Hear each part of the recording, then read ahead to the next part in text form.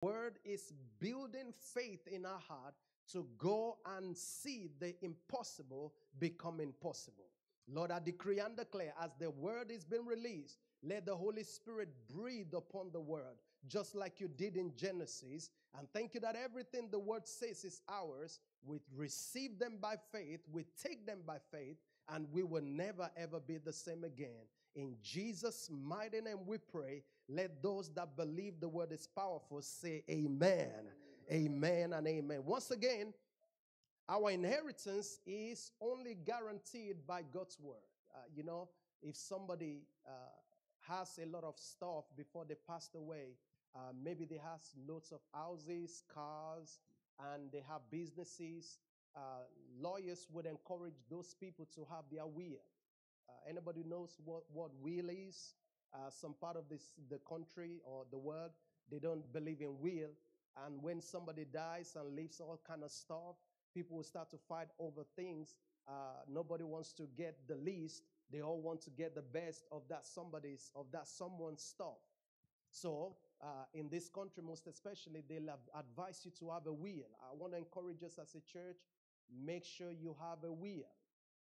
A will. Uh, just like I've advised you guys to have life insurance, God forbid, or you, you go home so early that we'll have to start raising GoFundMe. Uh, uh, uh, that's part of my question. Why do Christians, why do we raise funds every, every time somebody dies and then they start sending you link, GoFundMe, GoFundMe, when you could have actually have life insurance so that when you pass away, uh, uh, uh, your, your kids and your family don't have to start raising money and borrowing money, and then their life gets turned upside down just because someone died. So have a will and have a life insurance. And the church said, Amen. Whether you like it or not, is either you exit this world or Jesus takes you home. Those are the two things, two ways you can exit this earth. Uh, some of us are believing that when Jesus comes, uh, we will still be alive and well uh, and be 120 if Jesus tarries. But, uh, but hey, we have to plan for every, uh, every uh, is. Amen. We have to plan for every, uh, uh, every um, eventualities. Thank you very much. Amen. Uh, because Christian, we get deep when we talk about this real stuff. So if you don't have a life insurance, I don't sell life insurance. So that's not what I'm saying. Some people do in this church. Uh, you can find them, amen, and get yourself a life insurance. Amen. All right. And then also get yourself a will if you don't have one. Should you pass on, uh, pastor don't need to gather all your children and start to try and give them who, who wants shoes, who wants uh, his phone. No, no, no. Everything is documented. Amen. Uh, uh praise the Lord. So, uh, uh, just like someone will plan their death and have a will, the word of God is what guarantees us everything that Jesus has done. That's why the word is powerful. In order for you to advance, this is, this is the year of advancement. If you're going to advance, you are going to need to find out what the will of God is for your life. Before Jesus died, He put all of these things in His will. And it's all in the Bible. The moment you find out what the Bible says about you, that's your will that you can go and tender in any court of law. During your time of prayer, uh, you can tender that word that you have found and say, Lord, your will, your word says, by the stripes of Jesus, I am healed, so I don't have to live a life of sickness and disease. So that's why the word is powerful enough for us to advance by. So we ask ourselves the question why is the word so powerful that we can advance by it? We said because we were saved by the word. If the word was good enough to save us, who told you that whatever you're believing God for is not going to be possible by the word? If Satan could not stop you from being saved, who told you that he can stop you from getting that breakthrough? Who told you that it can stop you from getting whatever it is that God has promised us in His Word. Romans chapter 10. Romans chapter 10, why is the word of God so powerful that we can advance by it? It says in verse 14 of Romans 10, it says, How then shall they call on him in whom they have not believed? And how shall they believe in him whom of whom they have not heard? And how shall they hear without a preacher? And now, and how shall they preach unless they sent? As it is written, how beautiful are the feet of those who preach the gospel of peace, who bring glad tidings of good things, but then they have not all obeyed the gospel. For Isaiah says, The Lord who has believed our reports. Verse 17 says in that Romans chapter uh, 5, Romans 10 17, it says, So then faith comes by hearing, and hearing by the word of God. So the moment we heard the word, the moment we heard we heard the gospel, we responded, and our hearts now we were rescued from the grip of sin. We were rescued from the grip of Satan, and we were made to sit with Jesus in heavenly places. So the word could translate us. That's how powerful the word is. It can get you out of a family that is cursed, that has been uh, stuck in all kind of uh, idol worshiping, in all kind of uh, stuff happening, maybe uh, like they say shenanigans happening in a family, and nobody just don't have no testimony in that family. The word can give you a brand new start. That's how powerful the word is. It can, it can make the broken to be made whole. It can make the sick to receive strength by the word of God itself. All right, so uh, if you missed church last Sunday, you can go back and hear last Sunday's message. Why is the word so powerful? Number two, we live by the word of God. So if we were saved by the word, we are supposed to live our everyday life by the word of God. If uh, if you feel like something is missing in your life, you just feel this sense of dissatisfaction, check whether you are living your life by what you were saved by. Here is what Matthew chapter 4, verse 4, Jesus says to us in Matthew chapter 4, verse 4. Uh, it says, But he answered and said, It is written, Man shall not live by bread alone, but by every word. Please, church, say that every word. By every word that proceeds from the mouth of God. So that, that word has sustaining capacity with it. The word can sustain you uh, whether the economy is up or down, the word can sustain you. We live by the word. We live by what the word says, not by what the world is saying. The world may be saying is getting uh, harder economically, financially. Things are going to crash. Things are going to go belly up. House prices are dropping. Uh, in- interest rate is going up. The world may be saying all of this, but God wants us to live by his word on a daily basis. That's how powerful the word is. The word can literally guide you in the midst of chaos and confusion in the word and let the future look clearer to you when everybody else can only see doom and gloom. That's how powerful the word is. And if you didn't, if you embrace that word, if you live your life by that word, if you let your decisions be shaped by that word, if you let your steps be ordered by this word, if you let your response to when people do, do stuff to you or, or does stuff to you, when they offend you, when they say stuff about you, uh, when, when they treat you badly at work, when, when you're being marginalized, and when, when things are going on in your life, if you would respond by the word, you will continue to advance through every circumstance that you find yourself in. What the enemy meant to break you would actually become a stepping stone that makes you, and what the enemy thought will be to your downfall, God uses it to elevate you, and before you know it, you are singing a new song. God's word can sustain us in times of famine. We are living in times of famine in this world right now. Just turn on the news, you will see how bad it is getting in the world. It is a type of famine. I went to the shop the other day. This is not to uh, brag about myself. I just want to give God, glory to God. And I was paying for my own shopping. You know, those self check. Anybody use self check here? Self checkout? Or do you guys still queue for those long queue? Did you know some shops you can just take your own scanner and scan things. And while everybody is queuing up, you can just scan it and go out. Praise God. So I was doing my own stuff on that self scanner. And there was another lady uh, you know, she was scanning her food, and then I saw her scan this food, and then she called the guy and said, "Can you take this out? Uh, I, I can't afford it. It's too expensive." So the guy took it from her and put it on where they put stuff in the shop, uh, and then to, of, of course, go and put it back in the fridge. And the, the Holy Spirit just kind of, there was a holy anger in me that why would somebody want to buy food and not be able to buy food? So I said to the gentleman, I said, uh, I went to this place. I didn't even ask him. I took the food. Uh, I, uh, I said, why did she drop it back? He said, because she couldn't afford it. She said it's too expensive. How much was it? Two pound forty-five. That is a famine. Two pounds forty-five.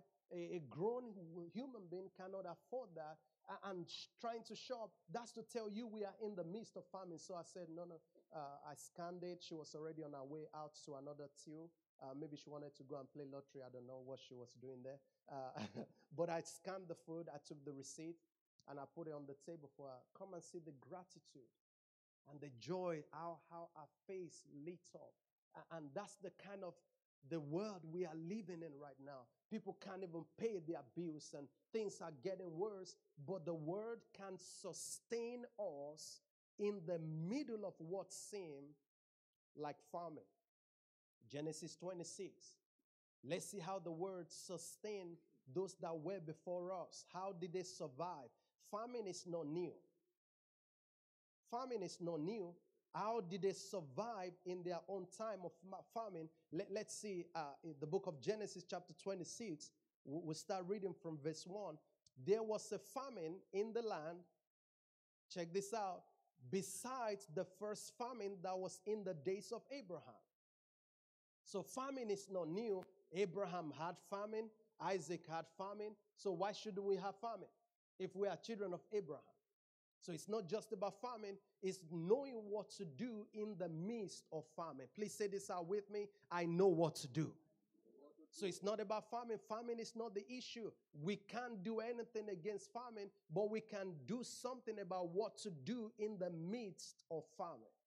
Let's keep reading beside the first famines in the days of Abraham. And Isaac went to Abimelech, king of the Philistines in Gerar. Then the Lord appeared to him. Luke, this is important, verse 2. Then the Lord appeared to him and said, This is why the word is powerful. So God then gave Isaac an instruction. While everybody is trying to leave the place where there is famine, Maybe you are planning right now how you're going to get out of the UK, how you're going to relocate to Canada, how you're going to relocate to New Zealand and Australia. I don't know what your plan is, but please make sure whatever step you're taking, God is asking you to take those steps. So, verse 2, it says to us, The Lord appeared to him and said, Do not go down to Egypt, uh, live in the land of which I shall tell you. Dwell in this land. It doesn't make sense dwell in this land, and I will be with you. Glory to God. Reassurance, I will be with you and bless you. For to you and your descendants I will give all these lands, and I will perform the oath which I swore to Abraham your father. For, for time, let's jump to verse 12. Let, let's jump to verse 12.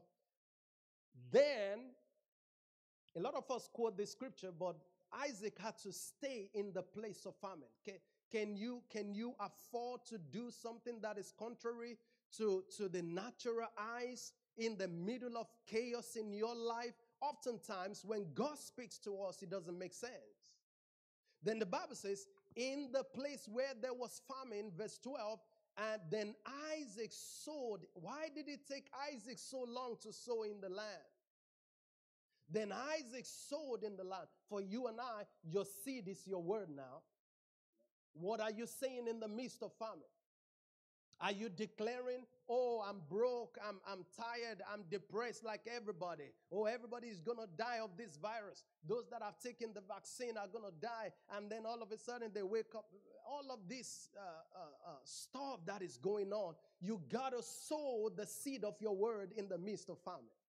All right. So Isaac, the Bible says, verse 12, then Isaac sowed in the land and reaped in the same year. Come and say in the same year. In the same year, a hundredfold, and the Lord blessed him. So God's word has this sustaining capacity in the middle of famine. The fact that God spoke to you doesn't mean there won't be contentions. The fact that you heard from God, if you carry on reading that story of Isaac, at some point they, they start to uh, uh, they start to contend with the wells of his forefathers, of his fathers, and they, they, they, he will dig some well. They will block the well, but he kept digging the well. Even though God told him to stay there, it does not mean you won't have opposition. The fact that God, uh, marriage is the will of God, doesn't mean your marriage is going to be, uh, your husband is going to be carrying you every morning and your hair is going to be uh, flying like, like, like we see in the TV. Uh, uh, your, your wife is not going to be worshiping you. Your kids, uh, all of this is good in the Hollywood and Nollywood and Bollywood. But in the real life, that's not what happens.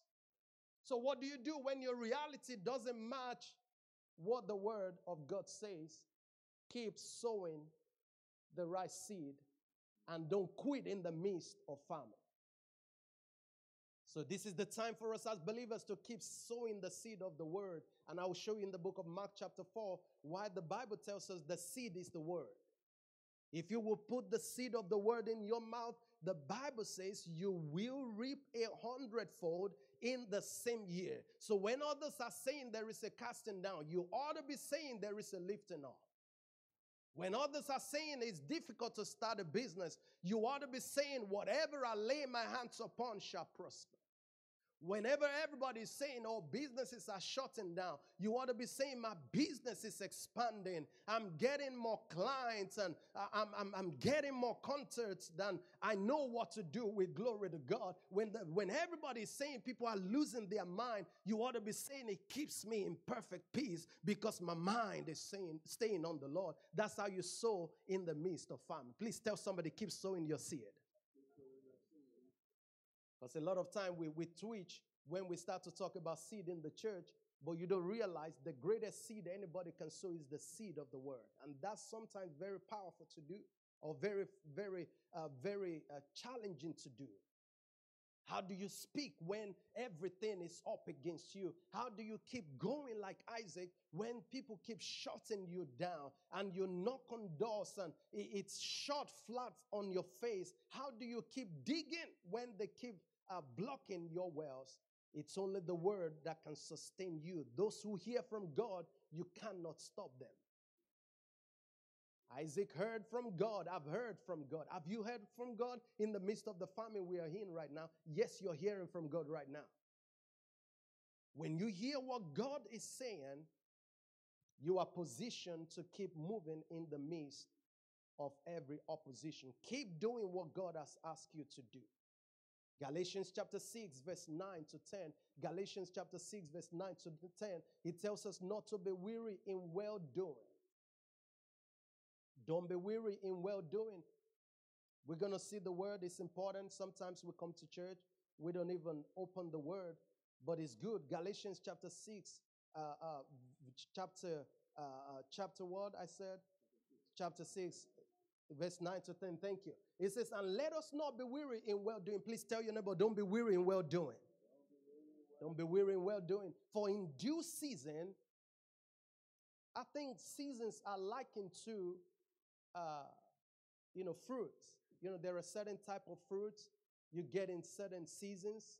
Uh, there are certain things you can't plant in certain seasons and expect to get harvest. Uh, so Bible is telling us, keep sowing. Don't be weary in sowing. Don't be weary in sowing the seed of the word. Don't be weary. Uh, for in due season, we shall what reap? What, what do you reap? You reap harvest. For you shall reap in due season if we do not faint. We refuse to faint. Glory to God. Don't be wearied in well doing. Matthew chapter 24, please, verse 46.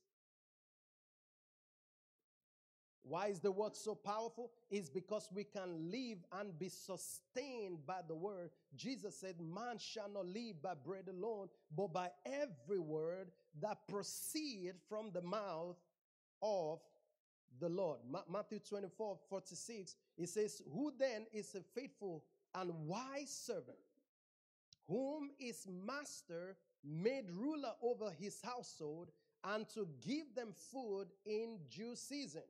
That's that word again, due season. Verse 46 Blessed is that servant whom his master, when he comes, will find so doing.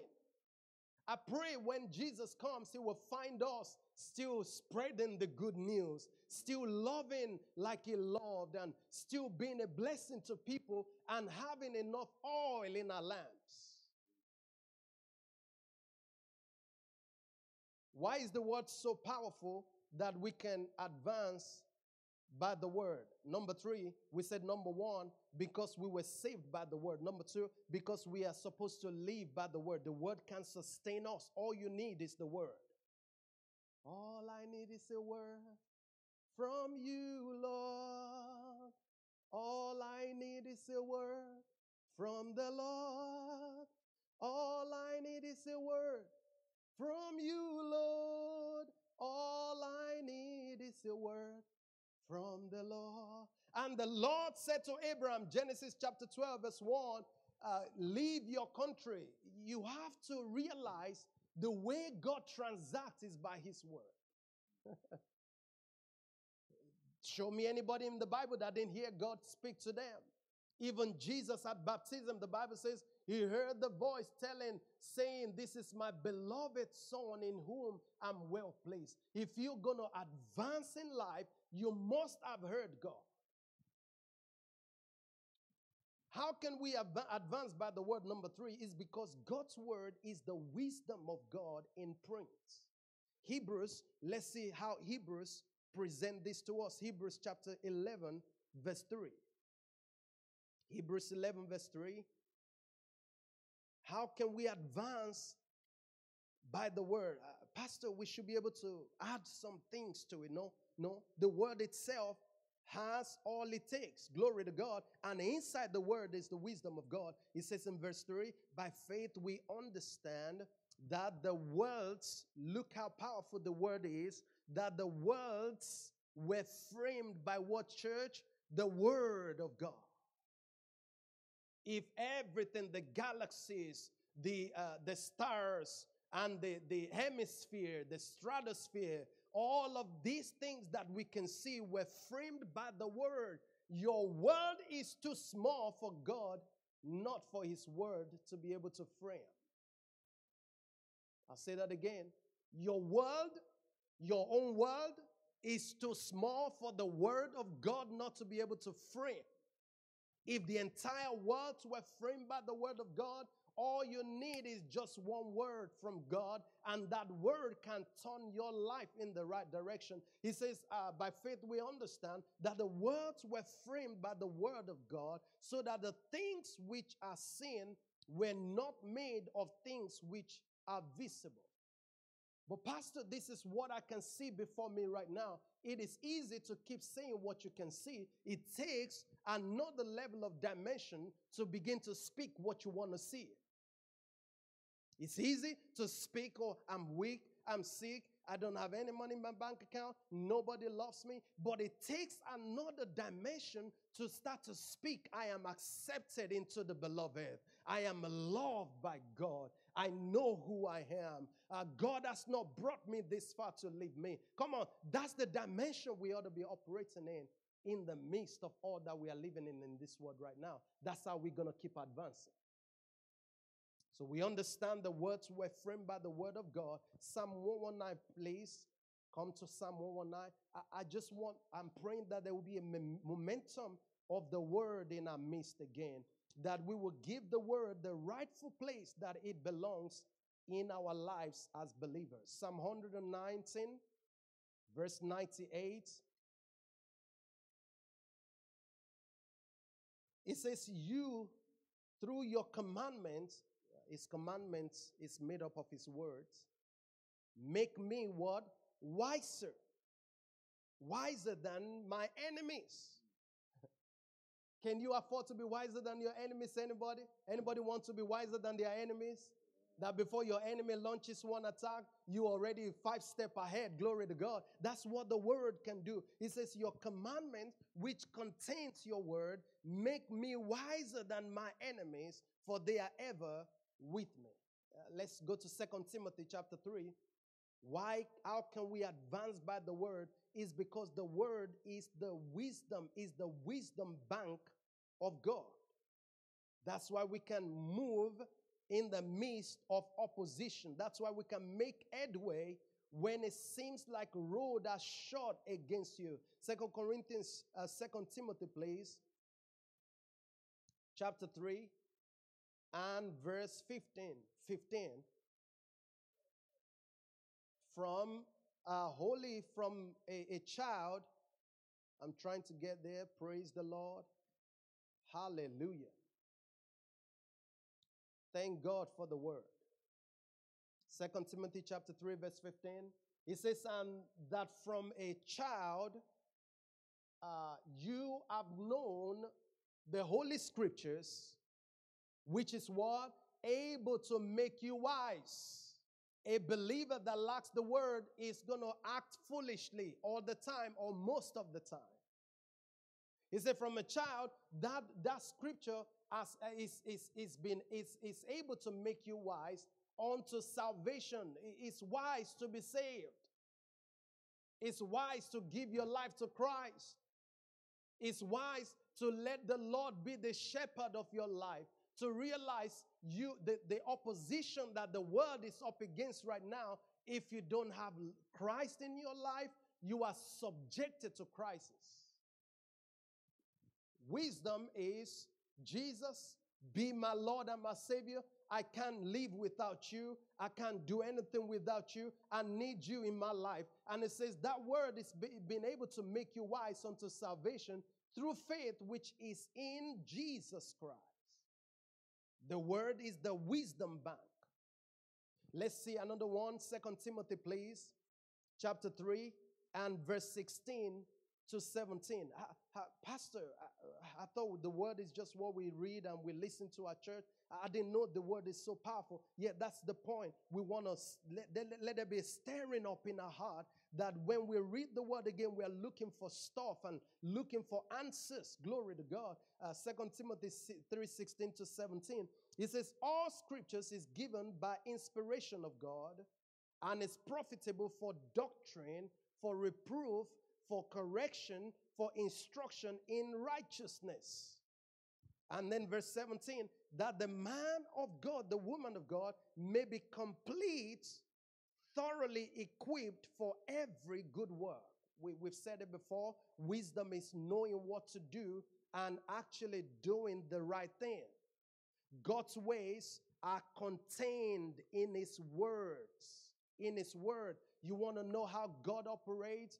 Uh, get familiarized with His word. I'll give you Psalm 103, verse 7. Psalm 103, verse 7. The Bible says, He made His ways known unto Moses and His acts known to the children of Israel. If you want to see the ways of God, which is the producer of His acts, you've got to know His ways. Come and stop looking for just God's act know God's ways so that you can also be a producer of his acts. That's what the apostles said. They said, We'll give ourselves ourselves to prayer and the word.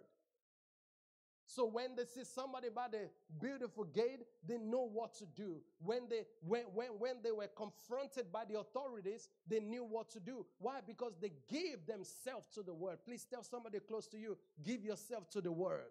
Give yourself to the word. You will always know what to do. Did you remember Jesus told them that when you are before the authorities, you will need to think about what to say because at that moment, the Spirit will give you what to say. And if you read the book of John, the Bible tells us that the Holy Spirit will bring to our remembrance that which Christ has spoken to us. And if you want to know what Christ says, you've got to read the word.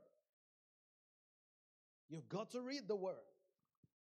As I close, I'll close on this one, on this wisdom bit. God's wisdom is a mystery. Please write this down. First Corinthians chapter 2, verse 7. God's wisdom is a mystery. We cannot explain it, but you cannot deny its evidence. when it's at work in a, in a man or woman's life. God's wisdom cannot be explained.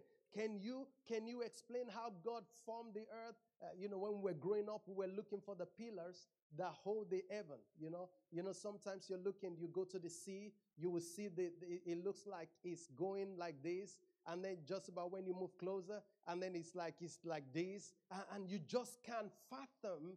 Oh, hallelujah! It's indescribable. It's so huge, but yet God formed everything by His word. God cannot be studied, but God cannot be boxed up still. You can study Him because of His wisdom. Glory to God. That's how we advance in the middle of opposition. God's wisdom is a spirit. Please write this Ephesians chapter 1, verse 17. You can, you can study this on your own. God's wisdom is a spirit. We saw that uh, during the anointing service, Isaiah chapter 11, verse 2, that the spirit of wisdom was upon Jesus Christ in prophecy. Glory to God. If you have the wisdom of God, it doesn't matter the stuff you are up against, you will always go through circumstance and you will never be stuck in your life. That was why Jesus could not be stuck. He always knew what to do. He needed to feed 5,000, not just once, twice. But he always had the answer for every circumstance. So I want to encourage us.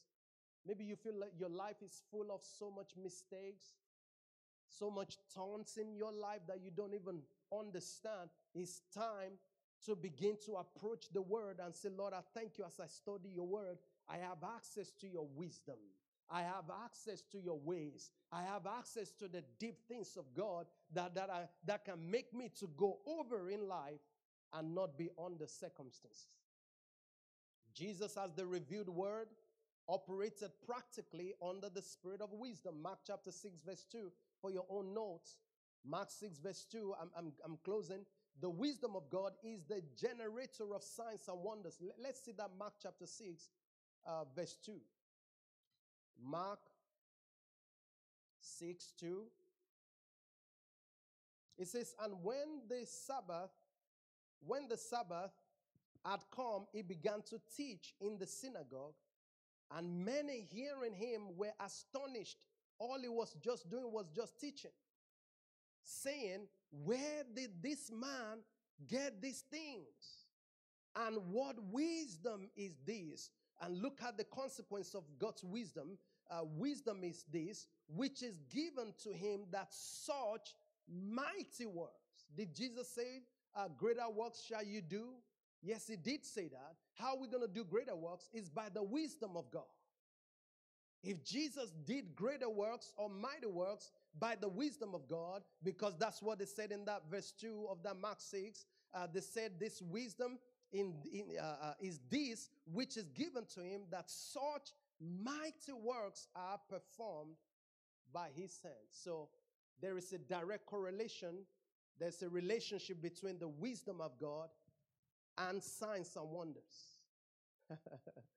you think signs and wonders is just about, oh, just praying and laying hands on the sick? Come on. It's time for us to see the word of God as the seed of wisdom. You have the word of God in you. Lord, I thank you that I know what to do concerning these financial situations before me right now. Amen. That's you praying the word. Lord, I thank you. This job situation that is before me, this mountain in this relationship. Thank you that I have the wisdom of God. Before you know it, you begin to see mighty works being done in your life. As I close, creation is an example of God's wisdom in operation. Let's close in Proverbs chapter 9. Proverbs chapter 9, verse 22 to 31. Proverbs 9. Please say this out with me, church. I always know what to do because I have the seed of the word living in my heart. My heart is filled with wisdom. I don't make foolish decisions. I make wise decisions because I'm advancing by the word. Glory to God. Hallelujah. Proverbs chapter 9, uh, verse 22, and then we jump to verse uh, 31, and then we, we, we wrap it up there.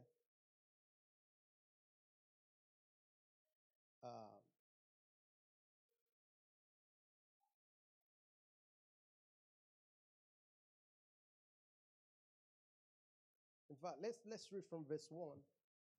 Wisdom has built a house. She has hewn out the, her seven pillars she has slaughtered our meat. She has mixed our wine. She has also furnished our table. She has sent out our maidens. She cries out from the highest places of the city Whoever is simple, let him turn in here. As for him who lacks understanding, she says, to come to him. Come, eat of my bread. Uh, we ate bread this morning, glory to God, and drink of the wine. We, we drank well, it wasn't alcoholic, in case you were expecting alcohol, we, we don't serve alcohol here, praise the Lord. you, have, you, you have drink of the wine I have mixed, forsake foolishness and live and go in the way of understanding.